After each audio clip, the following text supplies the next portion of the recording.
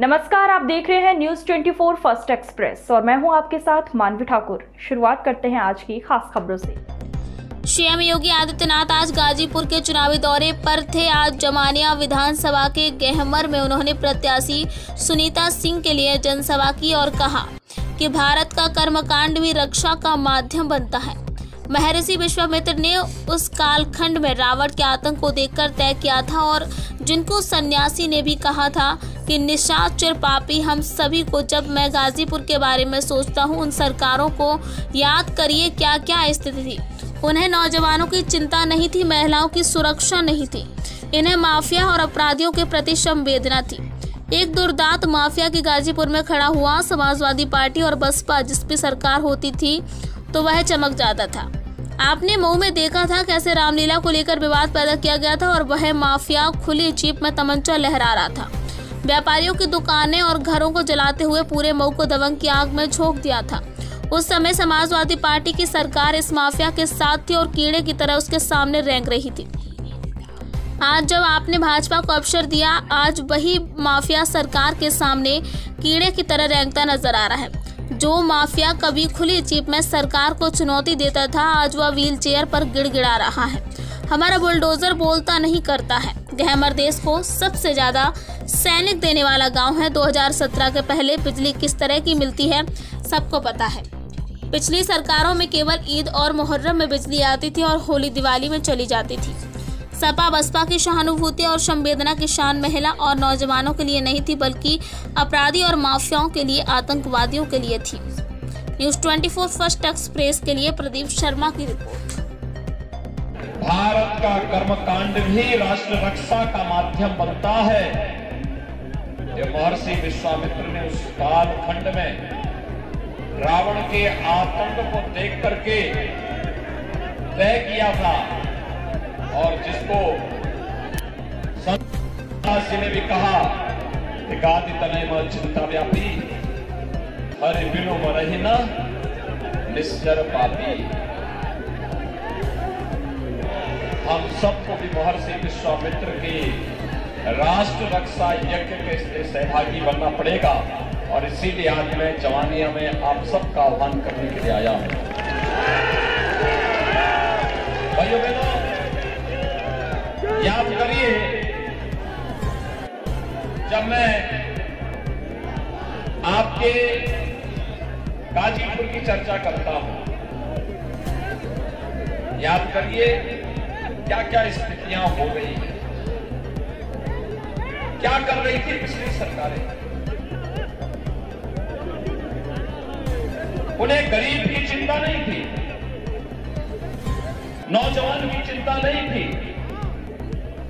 अन्नदाता किसानों की भी चिंता नहीं थी। उन्हें महिलाओं की सुरक्षा की भी चिंता नहीं थी। उनकी संवेदना इन सब के नहीं, प्रति नहीं, बल्कि उनकी संवेदना थी पेशेवर माफिया और अपराधियों की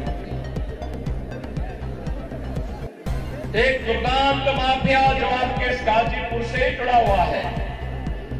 और समाजवादी पार्टी और बहुजन समाजवादी पार्टी जिसकी सत्ता होती थी बेबी पोल की तरह वहाँ चमक जाता था।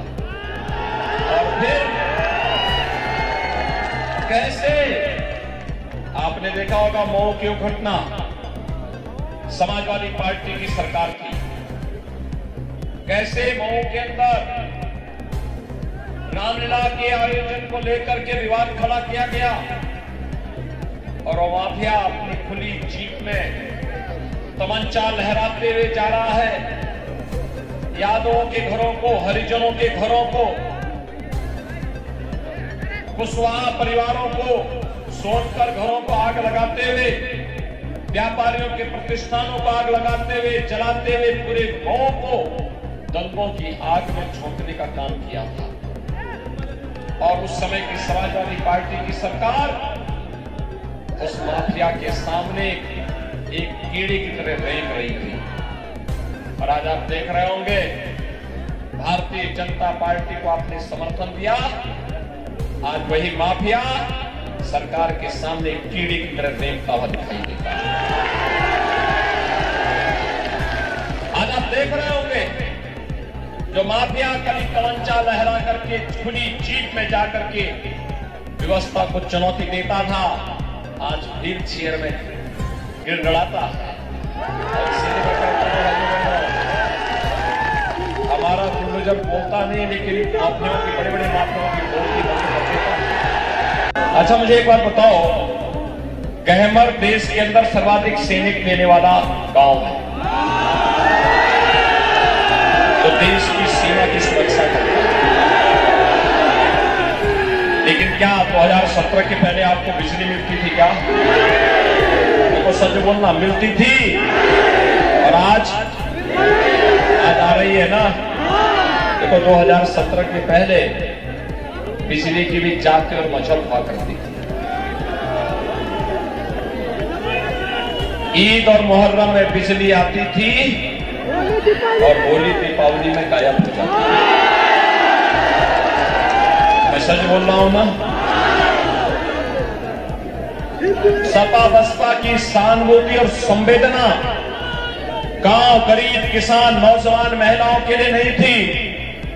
भाइयों बहनों, उनकी संवेदना तो पेशेवर माफिया और अपराधियों के लिए आतंकवादियों के लिए आज की खबरों में बस इतना ही, देखते रहिए। News 24 first express. नमस्कार।